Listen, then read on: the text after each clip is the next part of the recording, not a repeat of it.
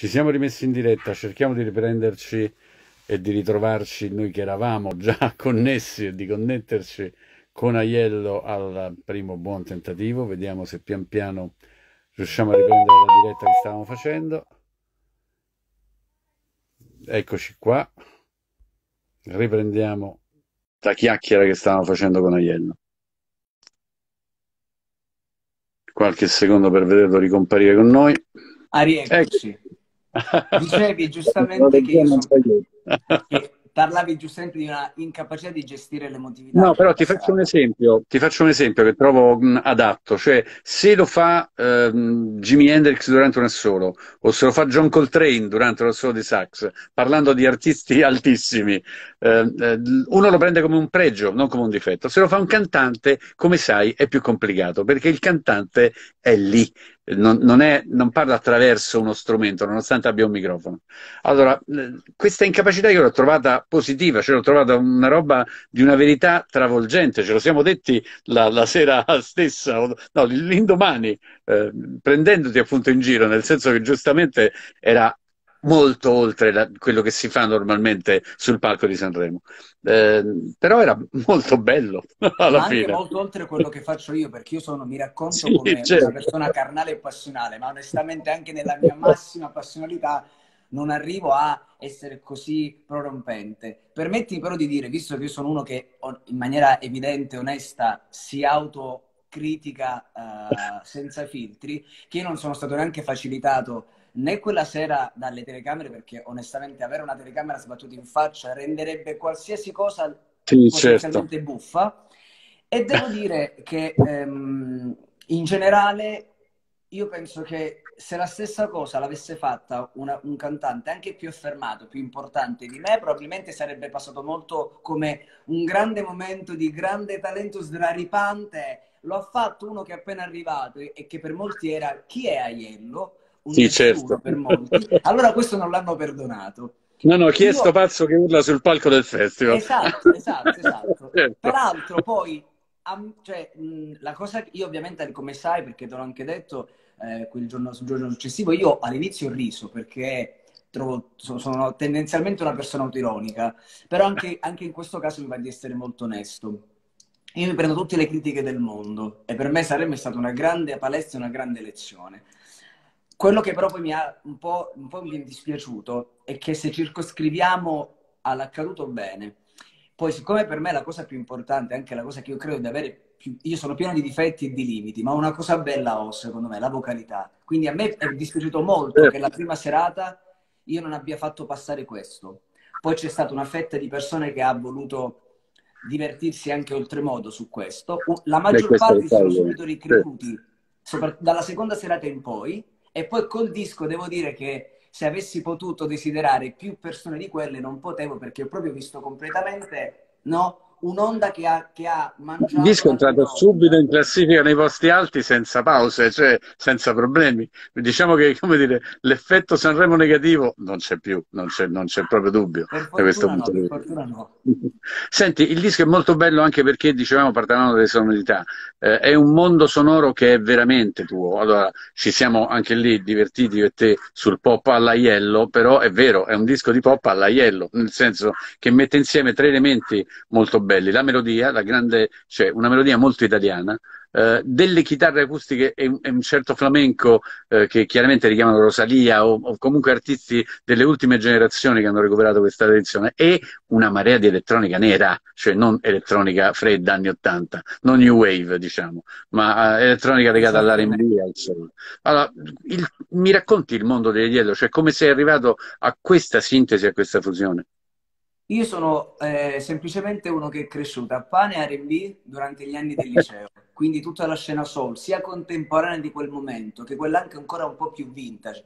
Banalmente, banalmente tra virgolette, Barry White, Stevie Wonder, Winnie Houston, eh, Ludel Vandross, sono cantanti che ho ascoltato a fianco ad Alicia Keys, ehm, eh, Asher, eh, Archelli.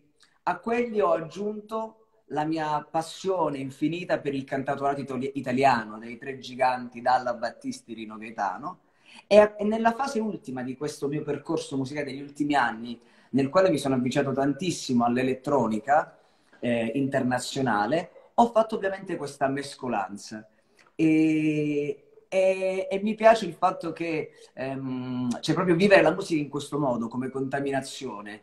Eh, io sto già immaginando il terzo disco, ma comunque sia, eh, vedo sempre questo mescolare eh, una serie di colori e mantenere quel tipo di scrittura e di vocalità che è la, che è la mia, ma provare sempre ad avere diverse sfumature che si intrecciano, fino a trovare sempre una forma migliore per comunicare in maniera più diretta, perché onestamente mi ha detto una persona uh, recentemente, eh, mi ha sorpreso che nessuno rimpiange ex voto, cioè tutti dicono, almeno quelli, i, i commenti, ex voto pazzesco ma meridionale.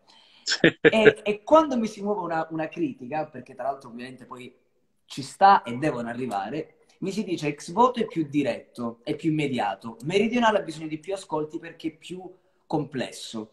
E credo che sia in parte senza in parte, è sicuramente vero, nel senso che hai mantenuto l'impatto appunto melodico della canzone, del tuo stile vocale, ma la complessità dei ritmi e dei suoni rende l'ascolto non immediato, cioè eh, ma in positivo, attenzione, io non penso che le canzoni, cioè ci sono alcune canzoni che per, sono fatte di immediatezza e uso un, un, dire, un, esempio estremo, il ballo del qua qua, lo senti, l'hai capito e non c'è problema. C'è altra roba che invece merita che la gente si sieda ad ascoltare le canzoni. Io posso sentire Aiello mentre mi faccio la barba e lo faccio contento, però poi voglio e devo poter sentire Aiello seduto davanti al mio eh, amplificatore cercando di capire che cavolo sta facendo.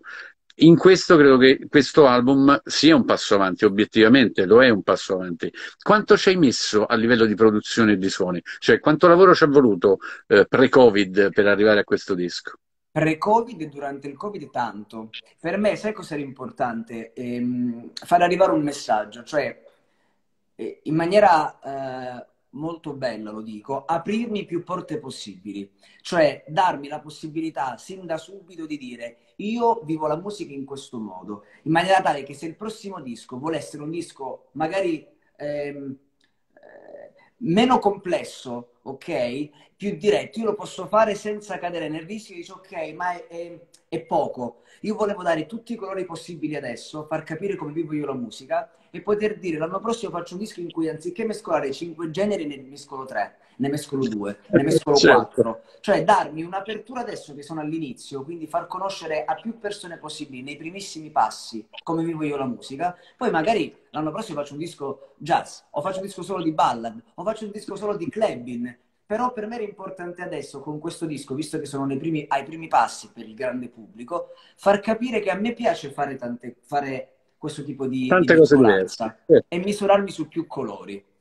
Senti, che difficoltà hai avuto ad arrivare ad essere Aiello, però? Sono, io questo, noi ci conosciamo, ma credo di non avercelo chiesto manco la prima volta che ci siamo visti. Cioè, come sei arrivato ad essere in qualche modo quello che sei oggi? Che difficoltà hai avuto, soprattutto, diciamolo, partendo anche non da Roma o da Milano, ma da eh, una regione dove obiettivamente la Cosenza è più difficile, non c'è niente da fare senza che facciamo finta che non lo sia. Lo è, no. non ci sono club, non c'è un, come dire, gli studi di registrazione, non c'è lo stesso humus che c'è qui o a Bologna o a Firenze, cioè in altre città è, è, è stato difficile. E non solo è stato difficile a livello proprio, come dire, geografico, territoriale, perché le opportunità sono da Roma in su per la maggior parte dei lavori in Italia, ma è stato difficile anche sopportare una serie di... Ehm, come dire, di situazioni in cui mi trovavo non neanche così raramente, e cioè il sorriso non cattivo, però quel sorrisino della serie sì, ok, sei bravo, ma magari eh, cioè, ma è difficile, ma è impossibile, oppure quando tu per molto tempo ci credi e nel frattempo comunque eh, hai gli studi, la, la, il tema lavoro, no? Far capire agli altri che per te l'arte è un lavoro, cioè che per te l'arte sì, è una cosa Canti, seria. Sì, ma che lavoro fai?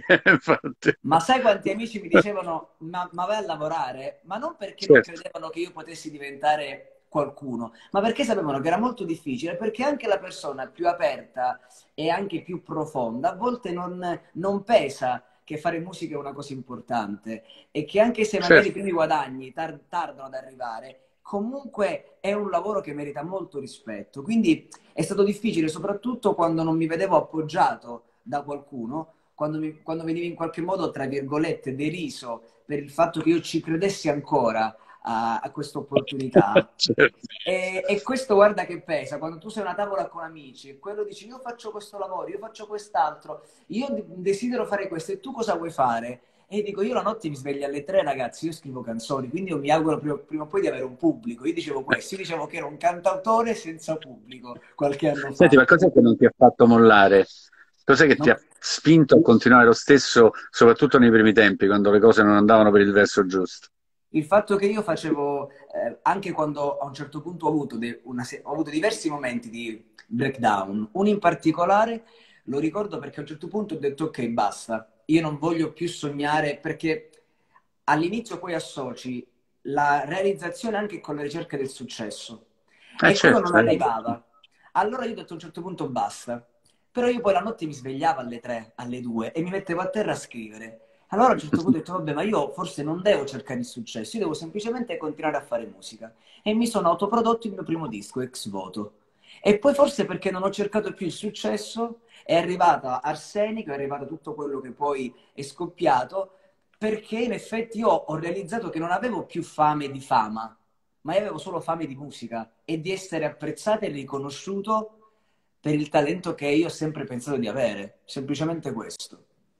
Le due cose infatti spesso non marciano con lo stesso ritmo, cioè successo e, e crescita interiore hanno ritmi diversi, non, non è detto che debbano, che debbano, necessariamente incontrarsi, però io trovo che con Meridionale tu abbia fatto un passo in più anche dal punto di vista espressivo, cioè eh, meridionale è una presa di posizione, eh, al di là del titolo, cioè eh, nel, nell'universo che tu vuoi raccontare è, è, molto più definito, è molto più chiaro. Io stesso non ce l'avevo così chiaro con Ex Voto, devo dire la verità, cioè eh, ci siamo visti, mi piacevi, ci siamo parlati, non c'è dubbio, però dove cavolo vorresti andare non mi era chiarissimo, se detto fra me e te, cioè eh, se appunto ti interessava maggiormente appunto il successo, la fama, il singolo buono e arrivederci, o se invece dietro ci fosse un progetto, come invece su, su Meridionale obiettivamente è chiarissimo che c'è un progetto, cioè che va al di là del, del, del lead single, di Vienimi a ballare o di Ora o di quello che possono essere altri singoli eh, di successo. Chi è che ti ha sostenuto in questa crescita? Cioè, cos'è che ti ha fatto crescere e appunto smettere di avere l'ansia eh, e, e, scrivere e basta? Guardi, io vorrei dirti, vorrei raccontarti la storiella romantica che c'è una, una bella favola. ogni giorno ce la farai. Io non ho avuto sì. nessuno che mi dicesse ce la farai. Anche i miei mm-hmm. genitori non mi hanno mai ostacolato, mai, ma non mi hanno mai neanche detto figlio come sei tu, nessuno mai, tu sarai una star, tu ce la farai. Quindi onestamente non ho avuto nessuno e, e, e, tutto quello che ho avuto me lo sono dovuto veramente sudare. Quindi devo, io ringrazio sempre la musica perché per me la musica è come se fosse certo. un'entità ed è l'unica che non mi ha mai tradito. Quindi se c'è qualcuno che non mi ha fatto mai mollare è stata lei stessa, proprio come consolazione, come amica che non mi ha mai mollato, come sensazione di destino. Io in qualche modo ho sempre avvertito una vibrazione, una vibes, no? di, di essere destinato a qualcosa, grande, medio, piccolo, non lo sapevo, però ero certo, certo, che prima o poi qualcuno mi avrebbe ascoltato. E rispetto a questa sensazione io non ho mai mollato. Per questo. Certo.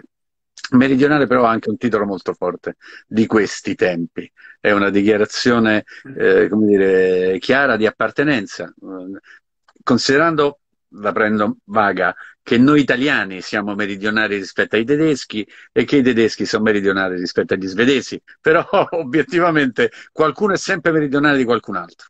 Eh, però di questi tempi dichiararlo fa differenza.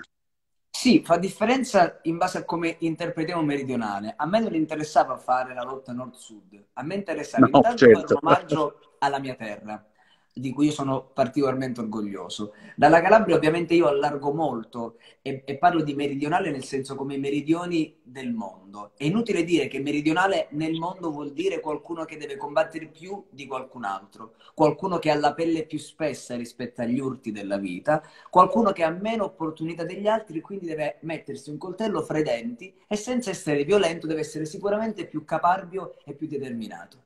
Questo tipo di valori io sento di averli dentro e, e, li hanno moltissime persone, ma questi valori li ha, li ha, anche magari uno che è nato a Bolzano, quindi non vuol no, dire No, ma infatti io penso, che, se posso mi permetti, io credo che questo disco sia una bella dichiarazione in un momento di crisi dell'intero paese, in cui se noi ci sentissimo tutti un po' appunto eh, più meridionali e in, e in grado di, di, di, di, reagire a una situazione difficile eh, tutti insieme sarebbe un, un passo avanti non, non indifferente, quindi eh, cioè, siamo tutti obiettivamente nella stessa barca. Nel senso proprio della, anche della carnalità, della passionalità, dell'accoglienza, della generosità. Io sono valori che ovviamente riscontro particolarmente nella mia cultura, ma appartengono a tantissimi, a tantissimi italiani e a tantissimi nel mondo senza considerare il fatto che poi mezzo nord Italia è nato e generato dal sud. Per sì, da pratica. Quindi voglio dire, non c'è nulla di, non sto, non sto inventando nulla di, eh, di, di, non vero, è tutto così, è tutto vero. E nel mio caso mi sembrava ancora più autentico poterlo dire io perché io ci sono nato in Calabria, ci sono cresciuto e so che è una terra Senti, meravigliosa. Ma... E come hai scoperto il flamenco in Calabria invece? perché, perché Cosenza in particolare è stata governata, la Calabria è stata dominata dai Borboni, dagli spagnoli eh, e noi abbiamo diverse, eh, come dire, reminiscenze culturali, anche culinarie. Uno dei dolci tipici di Cosenza è la barcheia, che è un dolce fatto di pasta frolla a forma di barchetta, che è proprio spagnolo. Eh, quindi in effetti a livello culturale noi siamo figli di spagnoli incrociati ai greci, incrociati ai normanni, mescolati alle comunità balcaniche. Eh, siamo contaminazione pura. La Calabria dovrebbe essere la regione manifesto in questo momento storico di come le, conv- le, le diversità possono convivere. Quindi potrebbe certo, essere un messaggio molto bello, soprattutto oggi, dove eh, ancora alcuni, eh, insomma, come dire, si riempiono la bocca di quanto è bello essere diversi, ma poi appena vedono una persona con l'occhio così, il capello così, vestito così, subito tacciano come se fosse una roba eh, così, no? Non, sì, sì. non certo. giusta. E invece per me è tutto giusto, basta che rispettiamo la nostra identità e la nostra libertà. E allora siamo giusti sempre. Senti, cos'è che ti piace di più di questo disco? Però adesso, quando te lo riascolti e ti dici, uè, ho fatto una roba niente male, eh, cos'è che ti, ti, convince di più, che pensi che sia maggiormente pop all'aiello? Il fatto che riesco durante l'ascolto del disco, a me capita di farlo intero nella giornata magari, che riesco a commuovermi e ad aver voglia di ballare da solo in casa, confermando quello che ho sempre sognato, cioè io immagino i miei live momenti in cui le persone passano da una commozione, da un abbraccio, dallo scrivere all'ex e alle, alla propria ex o al proprio ex perché hanno bisogno di dire oh torna qui oppure sei stato uno stronzo alla voglia poi di ballare e sudare. E quindi, come dico sempre, abbracci e schiaffi. Questa è la cosa che mi piace di più. Senti, la, la, è bello del disco anche il fatto che ci siano molti silenzi, cioè un, non è un disco pieno di suoni, eh, è un disco in cui le pause contano, in cui i vuoti contano quanto i pieni, in cui l'assenza di note ha lo stesso peso della presenza di note. Eh, come hai lavorato alla produzione del disco e con chi? Intanto forse per bilanciare il fatto che io parlo troppo, come vedi, quindi almeno nella musica pure, io pure. C'è, qualche, c'è qualche silenzio. E ho lavorato insieme a due produttori che in realtà mi porto dal primo disco, che sono Jacopo Sinigaglia in arte Braille e Alessandro Forte, che sono due compagni di viaggio che io ho dal, da ex voto e che sono convinto continuare a collaborare con loro. E poi mi metto io dentro perché io durante la produzione non mi prendo neanche la pausa per fare la pipì, perché sto dalla mattina alla sera in studio fino anche a notte fonda tutti i giorni, perché per me è sempre tutto un lavoro di squadra, nel bene e nel male, e, ma durante la produzione a me spesso proprio viene in mente un esatto tipo di immagine di suono e io ovviamente che non sono un produttore ma sono un cantatore, sto lì fin, fin, quando tutti insieme a sei mani non raggiungiamo quel tipo di suono e quel tipo di visione che io ho in testa. Quindi io non potrei mai scrivere una canzone e dire Ernesto producila, grazie, ci vediamo fra tre giorni, me la mandi. Io sto dentro allora, stanza. Mi chiedono di leggere qualcuno dei commenti, adesso ci provo, ma dovete comprendere che mi devo mettere gli occhiali. Aspettate un secondo, me li metto. Vediamo se riusciamo a leggere quello che ci dicono i nostri. Allora, del ovvio che sei un grande, che è chiaramente come dire, Giochiamo mi pare in naturale. Giochiamo in casa, esatto, ci sono dire, alcuni dei tuoi... Allora, giustamente, mh, mm, vedo... Beh, almeno non hai steccato come molti cantanti, ma perché avresti dovuto trattenerti? Che mi sembra del tutto ragionevole. Continua così, sei un grande. Ciao, ma quanto sei bravo, incapacità positiva, vedi, parliamo de- dell'inizio della nostra chiacchiera, eh, perché sono emozioni vere. Eh, c'è una cosa che mi, mi piace del, del credo, del, dell'approccio che tu hai alle, alle, canzoni e che si nota, credo che abbiano notato e che abbiano notato con piacere tutti i tuoi, dire, i tuoi ascoltatori, è che hai una visione della musica che rimane ehm, eh, naturalmente popolare, cioè non ci sono radici eh, calabresi evidenti, né del, del, della musica meridionale in generale, al di là del flamenco, eh, ma se la vogliamo considerare meridionale, ma eh, c'è un, un, attaccamento alle radici melodiche molto forti. Allora, sono curioso, tu hai citato tre cantautori moderni, ma ci sono anche grandi voci del passato che ti hanno influenzato, che ti piacciono o che conosci? Cioè, hai avuto bene o male un rapporto con la musica tradizionale italiana o no? Perché bene o male si sente, un po' io, si sente. Io ascoltavo in macchina con mio padre alcuni cantanti italiani, erano Battisti dalla Mina. In macchina c'erano loro e Carmen Consoli, però è molto più recente Carmen Consoli, è contemporaneissima. E, e, che li mescolavo però appunto ai Barry White che non comprendeva all'epoca, ai Luther Vandross, però ti direi di, di grandi nomi eh, del cantatorato di un tempo, direi Rino Gaetano, Dalle Battisti e Mina. Cos'è, quelli... cos'è, che ti piaceva soprattutto di, di, di, di Dalla e di Battisti? Sai che loro, uh, non ne parliamo, i testi sono tutti molto complicati, cioè non, non, raccontano né storie semplici né lo fanno in maniera semplice. Assolutamente no, però mi piaceva la loro uh, sperimentazione musicale. Battisti è quello che ha insegnato a tutti quanti noi cosa vuol dire mescolare più generi. Battisti all'inizio faceva, mescolava 6-7 mondi diversi. E, sì, sì, assolutamente nel suo e caso. Dalla anche. anche Dalla. E, e, mi piaceva di Dalla eh, proprio in, in, il fatto che il suo modo di cantare con quelle pennate eh, avesse una potenza, cioè da un lato sorprendesse in qualche modo perché non era affatto scontato il suo modo di cantare, ma al tempo stesso riusciva ad abbracciare, era molto largo. Ed è quello che a me piace in generale di, quello che io sogno nella musica, cioè quello di poter fare sempre delle cose molto popolari, molto larghe, dei grandi abbracci, senza essere, cioè mantenendo dei tratti molto miei e quindi delle, come dire, delle, delle cose molto uniche, belle o brutte che siano, ma delle cose molto distintive. Per cui se, se tu senti una canzone mia alla radio, io voglio che tu possa dire sempre quello è Aiello. Ma allora, su questo non c'è dubbio, certo. Questo lo dico con, con, come complimento, non c'è dubbio. Grazie, cioè, grazie se c'è una cosa io trovo che sia, cioè di questi tempi, come sai, eh, ehm, soprattutto attraverso il rap, è, è abbastanza difficile come dire, distinguere lo stile di, un, di, un, di uno dall'altro se non dalle parole, cioè quindi dalle parole che usa, ma non tanto per lo stile vocale che è, è andato come dire, dopo anni di, di, di, di, talent show e di grandi voci e di grandi cantanti, cantare è andato un po' in disuso, tra virgolette, eh, negli ultimi tempi, eh, compreso l'autotune, che io non trovo una cosa negativa, è uno strumento, cioè c'è chi lo sa usare e chi lo usa bene e chi lo usa male, ma come è normale per qualsiasi, per qualsiasi, cosa. Hai studiato canto, ti domando?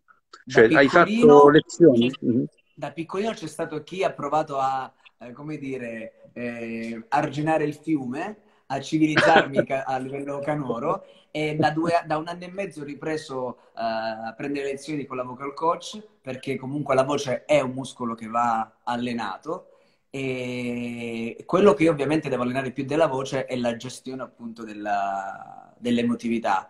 Detto questo, con, ritornando e chiudendo il tema Sanremo, credo che Sanremo sia un evento assolutamente unico. Cioè non esiste palcoscenico al mondo live che ti crea quello scombussolamento interiore che fa Sanremo, nel bene e nel male, quindi voglio dire, sì, tutti gli altri palchi sono praticamente delle passeggiate all'aria aperta, in campagna, d'estate o in spiaggia, mentre invece quello, quello, di Sanremo è un pianeta completamente a parte. Quindi eh, questo lo dico perché poi eh, parliamo di gestione dell'emotività, però voglio dire, è una cosa molto, per, per chi fa questo mestiere, per noi è una roba abbastanza naturale. solo su quel palco tu senti che, insomma, di stare su Marte, dimentichi di stare sulla Terra. Quindi l'abbiamo Senti, ho due cose da chiederti. digerito. Ho due cose, ho due cose da chiederti per, per il finale. La prima è eh, molto semplice, cioè che succederà quest'estate se tu stai già prevedendo, sperando che ci facciano come dire, riaprire sale, teatri, piazze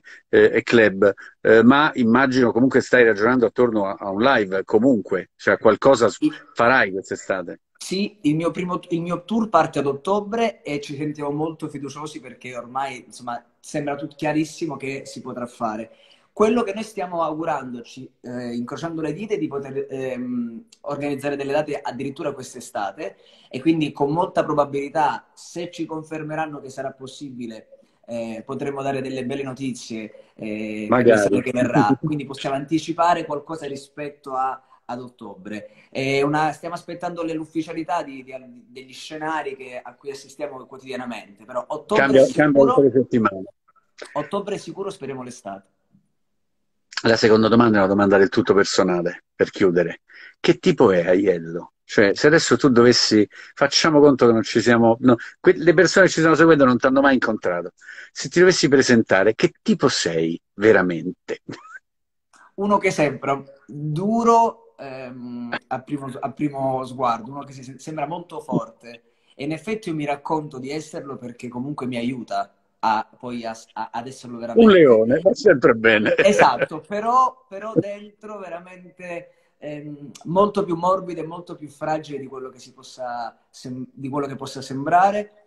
Eh, uno che si fa mh, eh, mille critiche, uno che, non è, uno che pretende tantissimo da, da se stesso, io pretendo molto da me.